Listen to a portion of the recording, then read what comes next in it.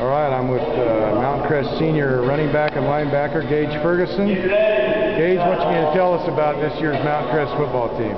Uh, we're coming out. We're excited to play. Uh, we got a pretty tough uh, schedule ahead of us. We got Highland first off. We played them in the semifinals last year, and just close games. So we're looking forward to another close one. It's definitely going to be a battle. And, uh, we're ready for the season. I know you lost a lot of great players off last year. Obviously, people will be looking to you to be one of the leaders this year. Uh, how do you feel about that? How do you feel about this year's team? Um, we, definitely did lose a lot of starters uh, on both sides of the ball. But we've, we've had plenty of years where we lose starters and we lose lots of guys.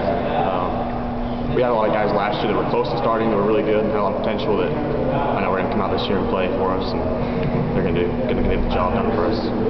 Yeah, lost a heartbreaker last year in the state finals. How many times have you thought about that game over the last eight or nine months? Just about every day, for sure. It doesn't leave. What uh, What do you learn from that that helped you this year? One thing we really tried to focus on through our workouts and uh, conditioning and just drill the stuff at the finish. Seems to be always at the end we're getting beat, um, so we really try to finish things through and uh, make sure we do it all the way to the end.